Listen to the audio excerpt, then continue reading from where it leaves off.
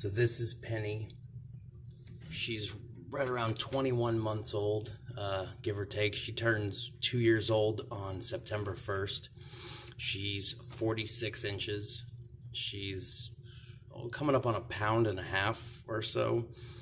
Um, and right now she's on a small rat every 16 to 19 days probably halfway through July through ha- halfway through October, she's going to be getting them uh, probably three or four days sooner each each feeding, and then I'll probably fast her for eight to ten weeks again this year. Uh, last year I fasted her for eight weeks because it was the first time, but she's a really really good grower. She's got great genetics, so I think probably a 10 week fast this year will be pretty good. Um, I expect her to grow quite a bit through the summer, and I expect her to grow quite a bit when she's fasting. Um, they all continued to grow. Actually, uh, her, the anaconda, the older Suriname, almost all of them hit a sizable growth spurt while they were completely off of food.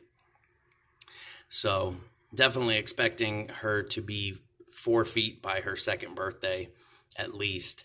Um, but I'm definitely not rushing any of their growth. Um, you know, her, she's been properly fed. All of them have been properly fed by me, and all the growth is just genetics and based on proper feeding. I'm sure that they could be bigger if I was stuffing them full of food every week, but there's no need. And there's no need to feed consistently the same way year round either. Doesn't mean you have to fast.